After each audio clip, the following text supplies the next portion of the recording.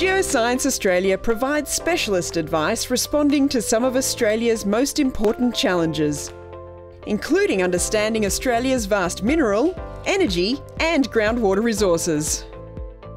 We're undertaking new research across Northern Australia to map potential resources buried deep below the Earth's surface.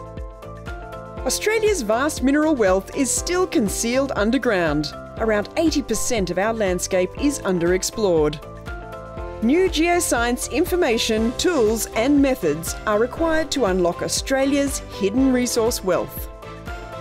Geoscience Australia carries out a number of geophysical surveys to investigate where resources are hosted underground. One technique used to identify mineral and groundwater resources is airborne electromagnetic or AEM surveys.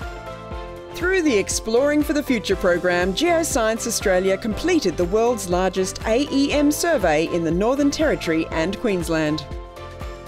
This type of survey is commonly used by industry to aid in mineral and groundwater exploration. An aircraft fitted with special equipment collects data from its sensors that image several hundred metres below the Earth's surface. The data is analysed into a 3D environment to better understand the geology of the survey area.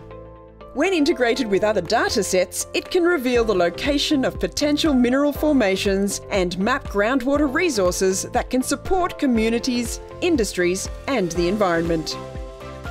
The results show conductive units that could indicate the presence of mineral deposits, such as nickel and other commodities.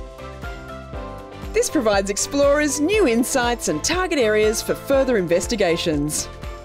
New geoscience data and knowledge increases confidence in exploration investment, helping to grow Australia's resources sector and create more jobs for all Australians. Discover more about exploring for the future on our website ga.gov.au/eftf.